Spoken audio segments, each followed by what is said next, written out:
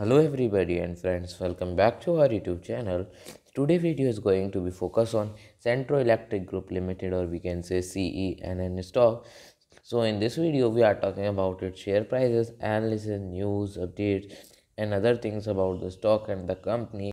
So this video is very important and informative. So first of all, if you are visiting our channel for first time, please subscribe our channel and also press bell icon for future update. The Cenntro Electric Group, it was one of the stock that we covered in our recent videos and has this was the biggest one in terms of revenue.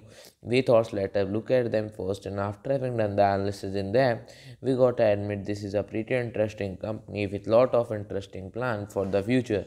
They want to grow their business significantly and different ways that they want to achieve it. The Cenntro Electric Group was trading at 2.76 US dollar with a negativity of 13% in previous session. So I ended the video. Thanks for